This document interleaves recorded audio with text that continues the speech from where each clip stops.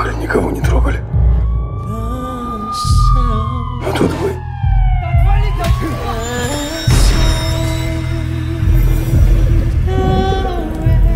Я, конечно, понимаю.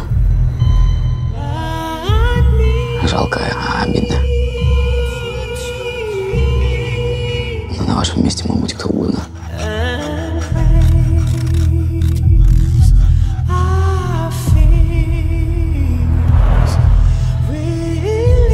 И что тебе надо? Гадать пришел.